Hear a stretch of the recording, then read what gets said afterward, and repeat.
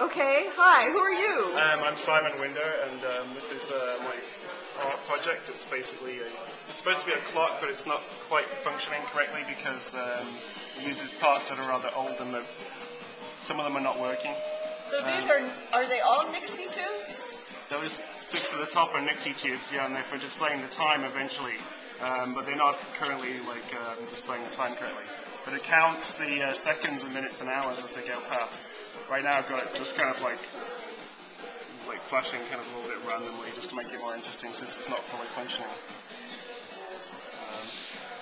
And it's Using using um, you know it's the idea behind it is that it's kind of uh, it's like I've got a bit of a fascination with the obsolete, and um, so it's effectively counting the time going past us. Everything is fading away into obsolescence. You know, all the technology we're using now will be obsolete in only a few years' time. Like this is basically using extremely obsolete devices to kind of like show count the passage of time, like things becoming. Um, this technology, people don't even remember how to use it, or even that it exists.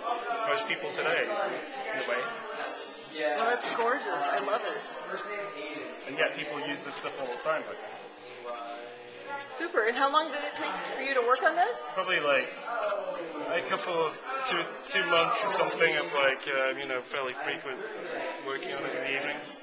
Um, you know, constructing these chains was rather these counter chains was rather uh, laborious.